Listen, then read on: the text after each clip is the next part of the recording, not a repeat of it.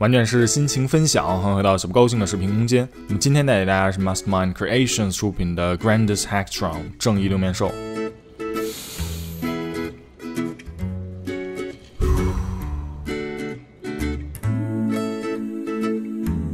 包装方面做的是相当有诚意啊，和之前 MMC 推出的再版六面兽类似，有一个纸质的外壳，哎，尺寸是特别巨大的，中间还有一层透明的塑料包裹。而这个透明的外壳上面表现出来的是一种极为复古的印刷风格。那么这次玩具的设定所表现的是一九八九年《胜利之斗争》里面的 Great Shot。这么多年了，这个角色似乎都没有一个统一的译法，咱们就姑且叫它正义六面兽吧。那么就像刚才说的，这个塑料包裹上面的印刷是特复古、特喜欢的一个风格，包括上面字体的使用都是很讲究的。而透过这样一个透明的包裹，也能很清楚的看到头雕以及胸部的改模。纸制品不多，但印刷还是相当精美啊！有各种形态的展示，以及这种经典的网格状的背景。打开之后呢，这个变形啊，其实你只要拥有任何一款 MMC 的六面兽，它的变形机理都是完全一样的。那么除此之外，如果你是在钢铁星玩具铺预定的这款正义六面兽，还会得到钢铁星的宠物企鹅，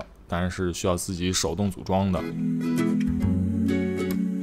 人形状态下，除了部件的改模之外，最为关心的。就是玩具一体性以及上色的最终效果，一体性是不用怀疑的，而这个涂装呢也没有丝毫廉价的感觉，白色是调的特别的正啊，当然胯部这块白色是应该在红色漆面上上的白漆，所以和其他部件略微有些不一样的色调。头雕方面做的很精彩啊，还原 Great Shot 的一个神韵，一个牛魔王式的头盔，胸部这一块呢。是一个老鹰的样式，向两边展开的翅膀，包括这个黄色的涂装，使得它这个小翅膀啊，也是有着很好的加成效果。但如果把它向内翻呢，就没有额外细节的表现了。两个肩部的红色部件也是有改模的，而车轮方面和再版六面兽一样，电镀的轮圈没有取下来的一个机关。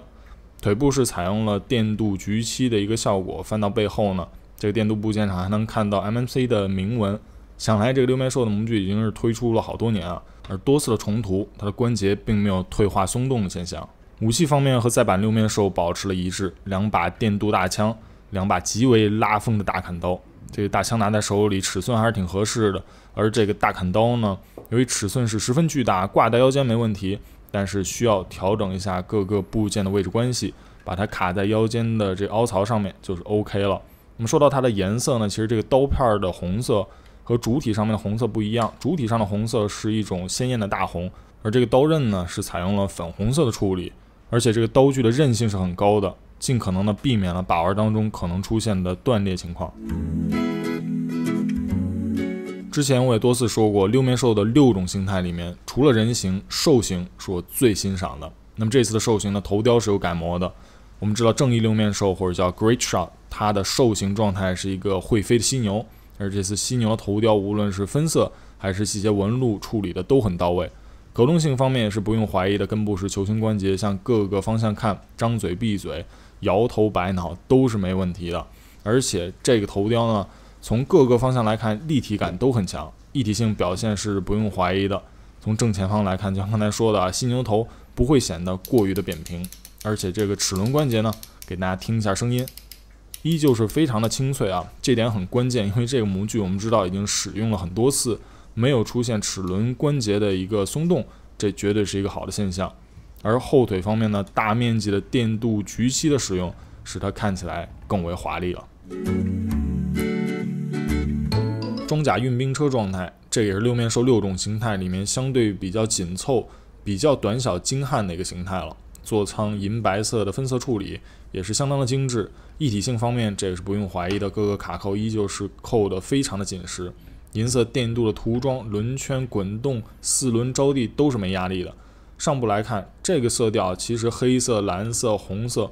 如果做的不好，很容易出现山寨的效果。但这种恰到好处的电镀橘漆处理，使得显得非常高大上，没有任何廉价的味道。但是前部车体突出所造成的重心问题，依旧是这个形态的硬伤。飞行器状态也是六面兽的一个标志性形态了。机头方面，大面积电镀橘漆的处理，使它的反光效果来的极为明显，而且在变形的时候可以感受到这种锁扣比出版要更为紧实，也是电镀漆使部件变厚所造成的。翅膀上面挂这个电镀大枪，无论是尺寸还是色调，看起来都是极为大调的。转到背后，哎，再次感叹一下啊，这个白色确实是调配的极正、极雪白，希望不会有变黄的一个趋势啊。翻到背后，各种色块是比较多的。如果抛开角色辨识度这点不讲的话，单就配色审美而言，这种蓝、黑、红所造成的色块分割，使它整体色彩的流畅度不是很高。手枪状态下的六面兽，哎，这种五颜六色的搭配，使它玩具枪的味道更浓重了一些。雪白的手柄，腰身是没有旋转的，这个造成的效果就是有一个类似扳机的结构，握持感还是不错的。那么从上部来看呢，人形胸甲两个外翻的翅膀，在枪形下也有很好的外露。那么从枪头这个地方可以看到两个电镀大枪的一个加成效果，包括自身枪头的一个红色处理，使它有一种蓄势待发的味道。那么这款大枪呢，其实我觉得之前黑色六面那个配色会更帅气一些，一体性是不用怀疑的，拿在手里还是很有气势，很有正义感啊。坦克形态，其实考虑到这种配色呢，与其说是坦克，不如说是一款机械的大蝎子，两个爪子在前面，而且电镀处理的轮子呢，似乎是能给敌人造成额外的滚动伤害。中间的座舱是蝎子头了，后面的主炮就是蝎子的尾巴。一体性是不用怀疑的，而且翻到侧面来看呢，大面积的黑色和白色形成了很好的对比，有种极佳的色彩对比度。整体来看呢，包括后方这个地方的色彩饱满度的处理都是一流的，而且这种电镀橘漆啊，要再次感叹一下，相对一般的处理是要华丽的多。正上方来看呢，这简直就是一个正义配色的蝎子啊！所以这样一个配色方案的选择呢，也使六面兽的坦克形态给人了更多脑补的空间。底盘来看，收纳是很好的，坦克的履带也有银色涂装处理。重涂使得这款玩具的变形没有了任何惊喜，但船身的头雕改动还是赋予了新角色很高的辨识度。华丽的电镀橘漆效果，加上调配合适的色彩饱和度，使得复古的正义配色下没有丝毫的廉价感，这一点是很难得的。